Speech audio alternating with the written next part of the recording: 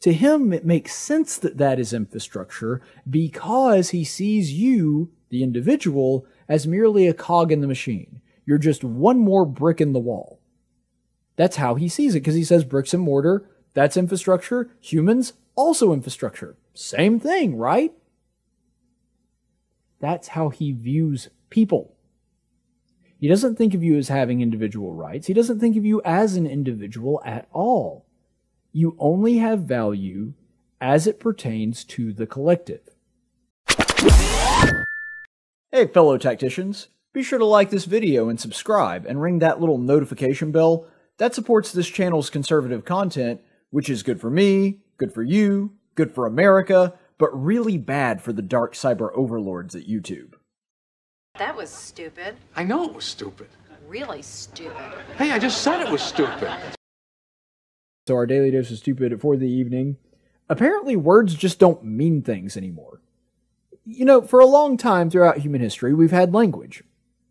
And generally speaking, while there's been some discrepancy and some words that can have multiple definitions, we generally agree that words have a set meaning. When we're speaking to one another, we don't just kind of assume all the time that there there is no set meaning to these things that they uh, constantly change and shift with the wind. And in mid conversation a word can mean one thing and then mean something completely other uh, completely different the next sec the the next time that we're we're speaking.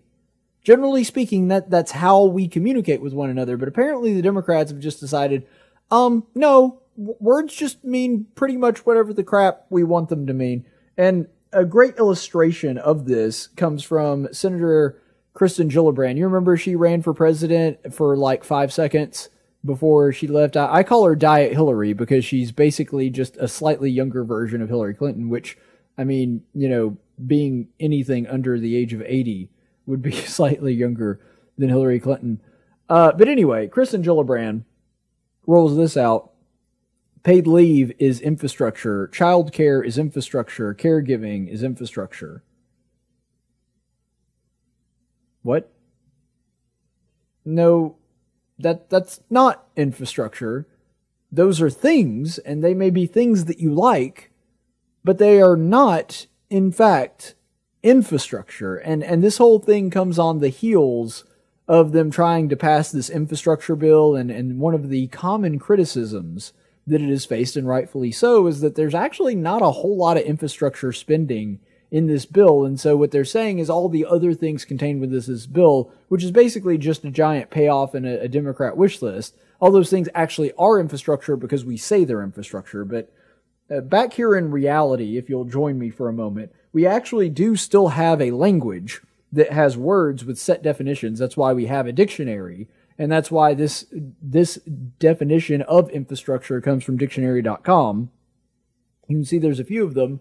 One, the basic underlying framework or features of a system or organization. Two, the fundamental facilities and systems serving a country or city or area as transportation or communication systems, power plants, and schools. And then three, the military installations of a country. Now, I would even say that schools are kind of iffy as far as infrastructure, I mean, they're certainly a government entity, but they're not necessarily infrastructure in the strictest sense of the word. I guess I guess they're buildings, but that's not necessarily infrastructure. But nonetheless, you know, we can parse words here a little bit with dictionary definition. But even given the, I would say, somewhat generous definition from dictionary.com, those definitions still do not work with what Kristen Gillibrand was saying that child care and, and caring for kids and all that stuff that that's not not infrastructure not in any by anyone's definition is that infrastructure in any way.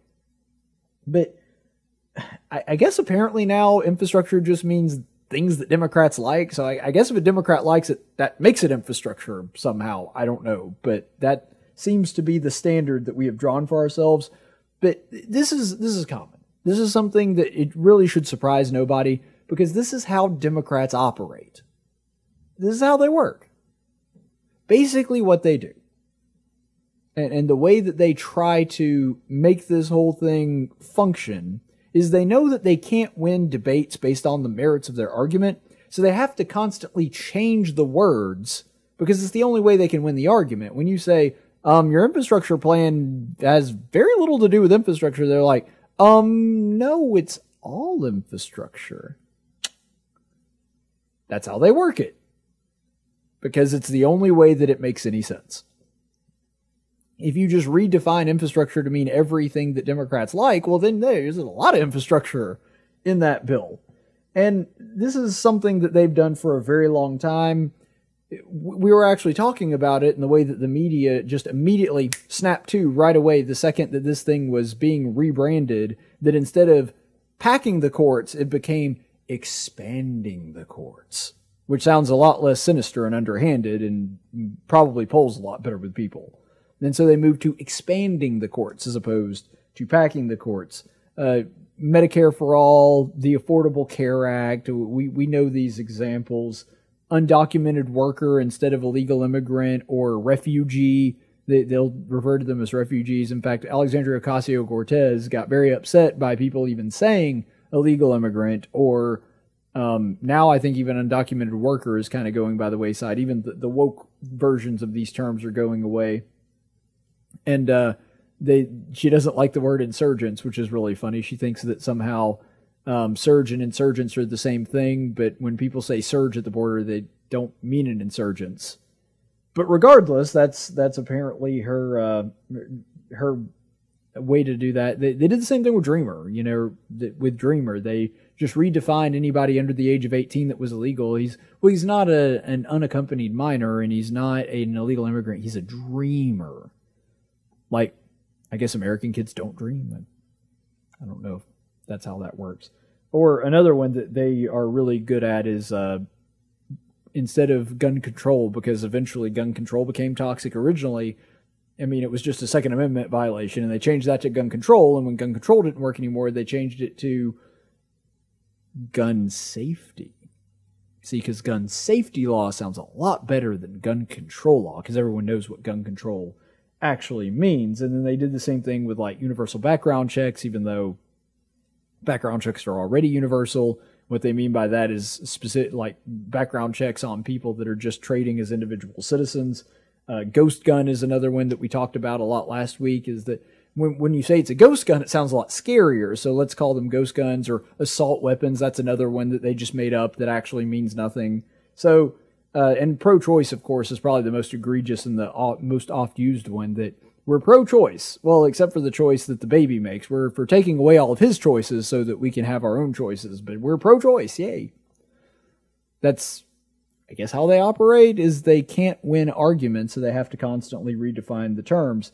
And then, of course, we're familiar with the way that they just basically, if everything that we like is infrastructure, everything we dislike is racist. We don't like voter ID laws, so they're racist. Well, how are they racist? Uh, we don't know, but they're definitely racist. We we definitely don't like that. Well, what about laws cracking down on voter fraud? Well, that's racist. Uh, what about laws that would prevent Muslim refugees being taken into the interior? Well, that's racist now. Uh, everything is racist, as my friend Stu Burguiere would point out uh, with that catchy song. Everything is racist. That everything is racist, guys. Everything that we don't like is racist. Everything we do like is infrastructure. You see, they found out that the American people, infrastructure pulls really well with them, and so most people like infrastructure. Most people don't like racism for good reason. And so if we just call everything that we like infrastructure and we call everything that we dislike racist, well, then people will like all the things we like and dislike all the things that we dislike. And, you know, it's sad, but unfortunately, that strategy isn't terrible. I mean, it's gained some traction, and some people actually believe, for example, that certain people that are not racist, or there's no evidence to suggest they are racist, are because of what the Democrats have said. And I guess if you can buy that, you can buy that universal health care is somehow infrastructure. I don't know. But it's not just Kirsten Gillibrand that's pointing this out. And by the way, even though she didn't say health care is infrastructure, that was said by the next person that we're going to take a look at. This is Bernie Sanders explaining all of this on MSNBC. We talk about infrastructure, of course, we're talking about roads and bridges. Water is a big deal, water systems, wastewater plants. But we've got to take a broad look at what infrastructure means, human infrastructure for ordinary people. Human infrastructure means housing. You got a half a million people in this country who are homeless. You got 19 million uh, households who are spending 50% of their limited incomes on housing. We need to build housing. When I talk about infrastructure, it means if a worker, mom and dad are going to work, they have the right to know that their kids are in decent childcare. That's infrastructure. Infrastructure is having the best educated workforce in the world. That means all of our kids should have the ability to get a higher education, not leave school deeply in debt. It means that we need a healthy society. Our life expectancy is 40th in the world because we are the only major country not to guarantee health care to all people. So I think as a nation, we've got to take a very broad look at what we mean by infrastructure. It's physical infrastructure, obviously, bricks and mortar. It is human infrastructure. And now is the time to create millions of jobs addressing all of the needs impacting the middle class and working families of this country. Well, this should surprise really nobody because remember, Bernie Sanders is the guy that's saying, we'll just rebrand something that people don't like the sound of socialism and we'll call it democratic socialism and that'll make it all good and wonderful and rainbow sunshine. And uh, we'll just say that we're going to do what Denmark and other Scandinavian countries are doing, even though, you know, they have virtually no regulations on businesses and have really low corporate taxes. We'll just pretend as though that's a democratic socialism and that'll make it much more palatable and better. And so Bernie Sanders is not above playing these word games, and we see that he's at it again. The infrastructure just basically means whatever I want it to mean. And so I'll just redefine the terms to mean, you know, childcare or health care or housing for people. That that's all infrastructure. No, it's not. It's roads and bridges. And here's the thing. Why do people like infrastructure? Why are Democrats so tempted to just redefine everything to infrastructure? I mean, as I've already said, it's because people like it. People generally desire government to do infrastructure. It's one of the very few things that they actually do want them to do. And I think that's very telling even people that tend to be moderate or on the left, they still see things like infrastructure as the primary thing that government is supposed to do. Basically, as long as they handle things like crime and at the federal level handle things like foreign threats, and they have roads and bridges and, and all of that other stuff that allows them to get where they need to go, that's really all most people care about. Uh, you could maybe throw schools in there depending on who it is and depending on whether or not they've got kids. Uh, you know, some people really care about that. Some people don't care about it as much, but regardless, that's another thing. But by and large, most people just want infrastructure. They just want government to handle that kind of stuff and, and just sort of ignore everything else. I wish that people were more like that and then there'd be more libertarians out there because that's one of the few things that most libertarians would agree that there is some legitimate role for the government having their hand in that. That ultimately it does speak to the idea that Americans primarily want government to do infrastructure. And what's funny is the Democrats have realized this, but they're using the word infrastructure as a Trojan horse to shovel in a whole bunch of agenda items that they really like and prefer and, and would like to pass. But they're doing it under the guise of infrastructure. Now, in the past, they've just done this kind of quietly. Like they would shove all this stuff into an infrastructure bill, call it an infrastructure bill, and then when people, you know, made note of, wait a second, most of that stuff isn't infrastructure, they would either add more stuff that is infrastructure to kind of cover up the fact that all that other pork barrel spinning and whatnot is still in the bill, or and what they would they would also try to do this, they would just kind of ignore it and let the media cover for them. Now they're going full hog and basically letting it hang out as like, yeah, it's it's all infrastructure, it's whatever. We're they're lying to your face because they think and, and they know that their buddies in the media will cover for them. In fact, Ali Velshi, who was conducting this interview with Bernie Sanders, immediately after he said that, he's like, Well, that was a very compelling argument. And I'm sitting there like, Did you watch the same clip that I just did? Because I didn't see anything that convinced me that that was infrastructure. Not one, he didn't make one argument that I thought made any sense when it came to why that is infrastructure, but the media is going to continue to cover for them. But to the larger point, I want you to think about this. Because we can make jokes about the way that they've just redefined infrastructure to mean anything they want, and we'll have a good chuckle out of it. I'm enjoying it too. But dig down to what Bernie Sanders really meant there.